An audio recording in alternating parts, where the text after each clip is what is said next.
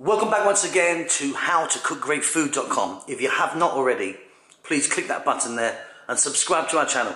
On the menu today, and as you can see here, just finished, we're going to make some really beautiful, easy cheese and jalapeno sambusas or samosas. They're really a lovely little snack. I'm serving mine with a little bit of sweet chili. Let's go and do it. Welcome back once again to howtocookgreatfood.com. If you haven't already, please click that button and subscribe to our channel. On the menu today, we're going to be making some really easy cheese and jalapeno sambusas or samosas. Lovely, lovely little fried snack. So what we've got here is we've got some sheets that we've bought from the store. Quite frankly, buying from the store, you get hundreds for nothing. They're really cheap and you get loads of them. Really super convenient. Cheese of your choice. I mean, I'm using a bit of cheddar here, but you can be using any, anything you want. And I've just got some jalapenos here, like a kind of pickled red jalapeno. All we're going to do is pop some of this in a wrapper with a jalapeno. I'm going to put a bit of black pepper on it. We're going to fold them. We're going to show you obviously how to fold them. We're going to just fry them in some oil. They're done. So as you can see, we're just popping in a little bit of our cheese at one end and the jalapeno. Like I say, very, very easy these ones. Once you get the technique of folding them sorted out, they're delicious. You can make loads of different types of stuff with this. Okay, so you can see top left, we've just got a little bit of flour and water mixed. We're going to use that as a glue. So we're now going to just show you how to fold. So you fold over one corner there, another fold into that corner, fold over on itself, one more fold over.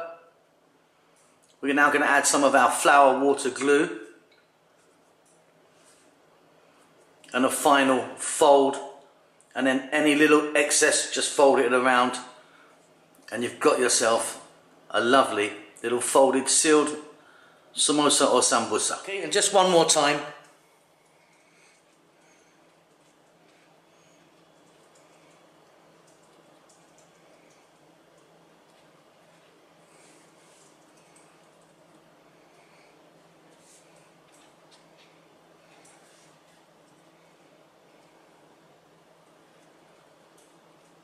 add a touch of the glue.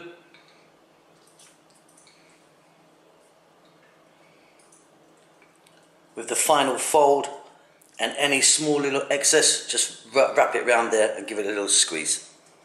And just from another angle so you can get it. One fold there. One over there. One back on itself. One forward touch of the water flour glue and over you go. Okay, we're now to finish the rest of them, then we're to get over to the cooker. Okay, so here we are. I've got about two, three centimeters of a sunflower oil in there. You can be using any oil you want, quite frankly. There's our little samosas. And what I like to do is, just before I put them in, give them an extra little squeeze here. Let's just check that oil. That's good. So in they go. Now we don't want the oil raging, raging hot. You want it with that kind of gentle bubble like that. And we're going to cook these literally for like three minutes, minute and a half aside to get the desired effect. Also, don't overcrowd your pan. So I'll probably do these in a couple of batches. So minute and a half or so, I'm going to flip them over. They're going to be delicious. Really gooey cheese inside. See, as you can see, I'm just flipping these over now. I'm going to go for a nice light colour. I mean, cook them, you know, as dark as you want. That's up to you. I'm going to go nice and light on these ones. Another minute and a half, 90 seconds or so.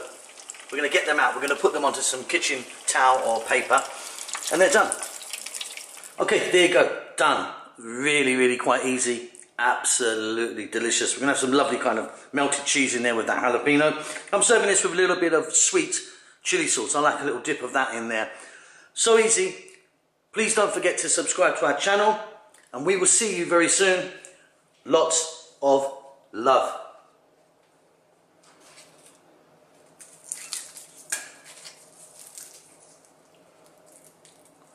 Wow, gooey, gooey cheese. See you later.